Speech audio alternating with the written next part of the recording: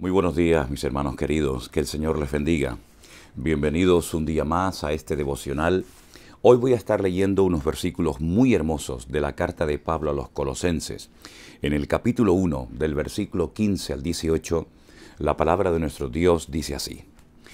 Él es la imagen del Dios invisible, el primogénito de toda creación, porque en Él fueron creadas todas las cosas, las que hay en los cielos y las que hay en la tierra, visibles e invisibles, sean tronos, sean dominios, sean principados, sean potestades, todo fue creado por medio de Él y para Él. Y Él es antes de todas las cosas, y todas las cosas en Él subsisten. Y Él es la cabeza del cuerpo, que es la iglesia, el que es el principio, el primogénito de entre los muertos, para que en todo tenga la preeminencia. Estas extraordinarias palabras del apóstol Pablo aquí en Colosenses capítulo 1 están describiendo a la persona de nuestro Señor Jesucristo. Lamentablemente hay personas, y hablo de creyentes, que saben muy poco acerca de nuestro Señor Jesucristo, su Señor y su Salvador personal. Conocen algunas cosas, lo han recibido, lo han eh, aceptado como su Señor y Salvador personal, pero luego a la hora de describir la naturaleza, los atributos, las características de su Señor y Salvador, pues ahí como que no están muy, eh, digamos, documentados o doctos en la materia. El apóstol Pablo se ocupó mucho de describir la persona, la figura de nuestro Señor Jesucristo, para que tengamos un concepto amplio y profundo de a quién servimos, a quién honramos, a quién hemos recibido y aceptado en nuestros corazones como nuestro Señor y Salvador personal. Nuestro conocimiento del Señor Jesucristo tiene que ser amplio. No podemos eh, limitarnos única y exclusivamente a decir que Él ha perdonado nuestros pecados, en momentos puntuales ha sanado cualquier enfermedad o dolencia que pudiéramos tener. Damos testimonio de momentos en los cuales Él nos ha ayudado y respondido a una oración y ahí nos quedamos. Hay que profundizar, hay que leer, escudriñar, estudiar las Sagradas Escrituras para que podamos conocer más profundamente a nuestro Señor Jesucristo. Y de esa manera conocer sus atributos, conocer eh, el impacto que puede producir en nuestras vidas y en el mundo. Pablo menciona una serie de cosas acerca de él muy interesantes. Por ejemplo, dice que él es la imagen del Dios invisible. A Dios nadie lo ha visto jamás. Permítame ponerles un ejemplo. Es como si usted tiene en su mano una moneda con la cara de, por ejemplo, del rey de su país o del presidente de su país o de algún personaje importante de la historia. Usted no lo ha conocido, Usted tal vez nunca lo conocerá personalmente, pero viendo la imagen eh, en esa moneda, usted se puede hacer una idea de, de cómo es su rostro, de cómo es su persona. El Señor Jesucristo era la imagen misma de Dios.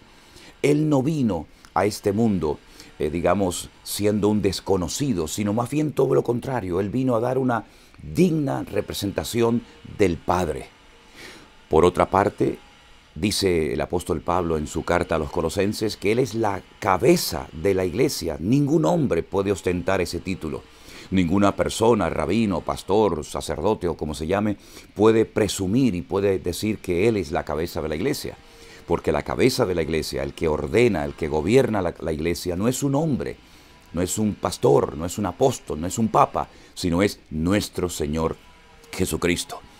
Él no es un ser creado, más bien todo lo contrario. Por medio de Él y para Él fueron creadas todas las cosas. Es decir, vemos que nuestro Señor Jesucristo es eterno.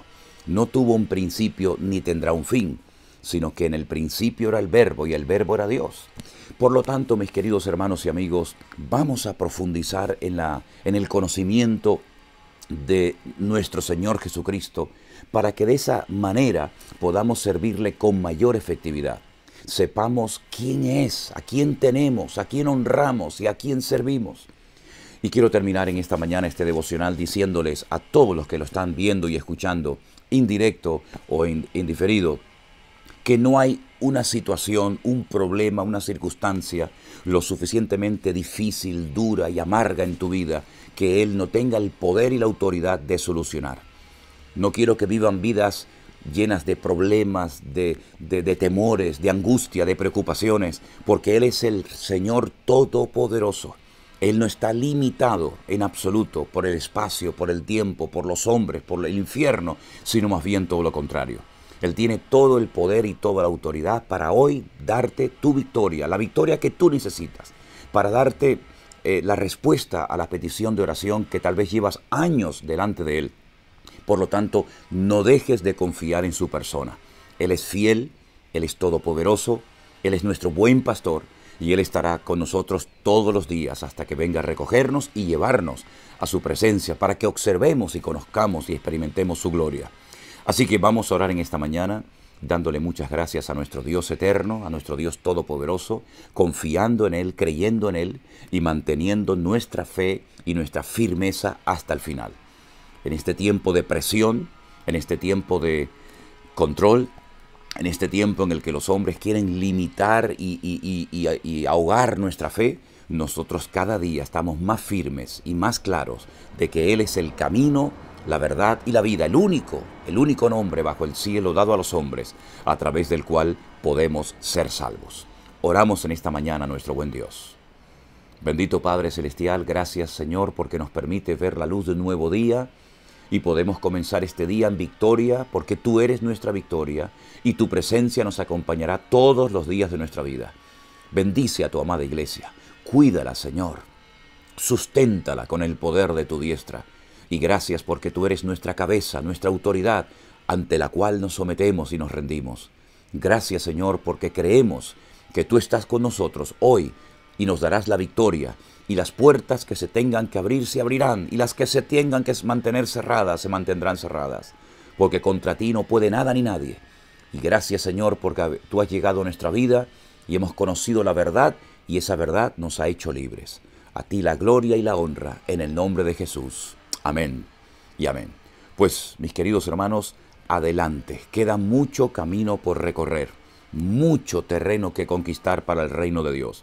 Así es que Vamos a esforzarnos, vamos a ser valientes, sabemos en quién hemos creído y aunque todo nos falle y aunque veamos que el mundo cada vez se va deteriorando más, nuestra fe cada vez está más firme y nuestra esperanza está bien puesta en un Dios vivo. Que el Señor les bendiga y les deseo a todos ustedes un día victorioso y bendecido en el nombre del Señor.